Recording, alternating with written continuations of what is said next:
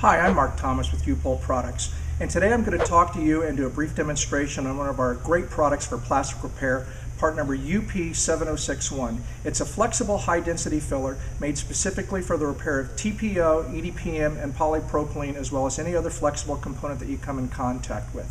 In addition to doing road rash and deep gouging, this material can also be used in combination with reinforcement mesh to do tab repairs and hole-through repairs. And that's what we're going to show you today. On this hole through repair that we're doing here, we've simulated an actual rip in the bumper cover itself. Our prep on the front side of this material was to come in with 80 grit on a DA to bevel the edge out a little bit and then just to sand by hand out around the edge here to give us our mechanical adhesion over the whole repair area. As we roll this over to the back side, you'll be able to see that we came in and cleaned the bumper cover itself with a waterborne wax and grease remover. Then we hand sanded this with 80 grit on the back side as well. You can use 80 grit, 60 grit by hand with a DA, whatever means that you want to prep the back side of the panel.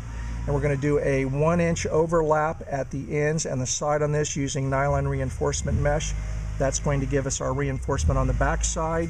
Then what we will do is we will come to the front side and we're going to use the 7061 just like its body filler to fill this area back in. Mixing the 7061 is done exactly like standard body filler is utilized. You can see that the product is dark gray, kind of a brownish gray in color.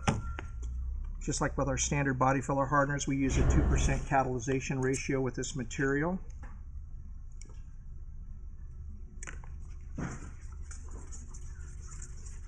And we're going to mix the product up. At this point, we're going to take our 7061 that we've mixed up. We are going to apply it to the top of the mesh that we're going to utilize right here. And we're going to roll the bumper cover over and we're going to apply the reinforcement patch on the back side of the material.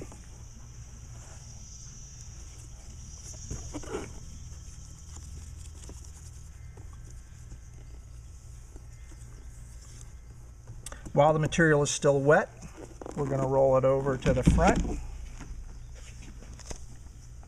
And we're going to take some additional material and we're going to spread it right into the repaired area. We're about to peel the film off the back side of this to show you what the repaired area itself looks like after the patch has been made on the back side. At this point we'll flip the panel over and we'll be able to come in with our sander and DA the front side of this panel down and feather this material in and show you what that looks like after it's been sanded. At this point in time, we're going to come in with our DA with 80 grit sandpaper and we're going to sand the front side of this panel down. One of the really nice features of the 7061 flexible high density filler is that not only can we shape with 80 grit, but we can actually feather into the original TPO with 80 grit. With most of your plastic repair components that you're using for flexible bumper repair, you can always shape with 80 grit, but you always chase the hard edge. With the 7061, we'll be able to completely feather it in on the first cutting with 80 grit sandpaper.